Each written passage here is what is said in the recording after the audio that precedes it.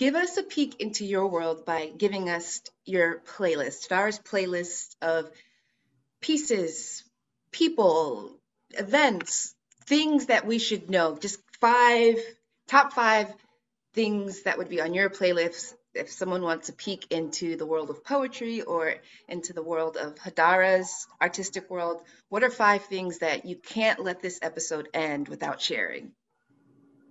Oh my God. So big, but I'm really excited about it. Um, so I would think, and maybe I'll, I'll throw in some Kansas City as well. I think the Nelson Atkins is has been such a great support to me in terms of survival and um, exchange.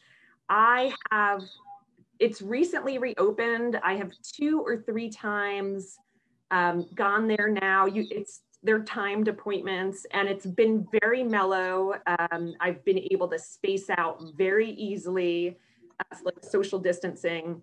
And I would say, you know, the Mark Rothko there and the Louise Nevelson there are personal friends of mine.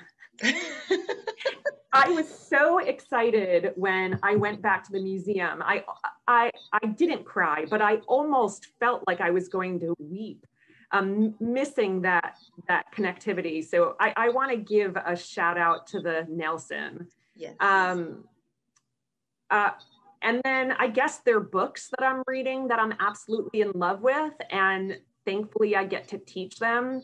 Um, my class just studied um, Molly McCully Brown, um, wonderful poet Natalie Diaz.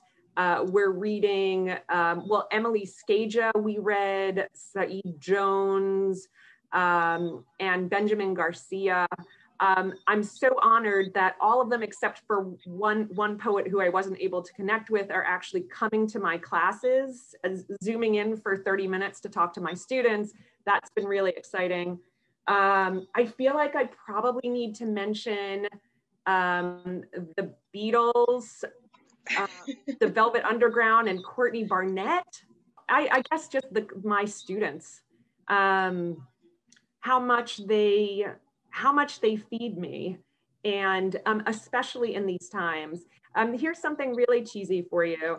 Um, so I've had, I'm, I'm, teaching this advanced poetry workshop that meets one night a week and for three hours. And for some reason at the end of each night, and I've never done this before, I thank my class. And I'm, I, and I, I make fun of myself and then I do it. I'm so glad to be there with them. Um, it's amazing, you know, I'm, I'm, I also need this in this moment. And I'm, I'm grateful for their attention and energy and insights and how amazingly willing they are to, to share and make that space an intimate electrical space.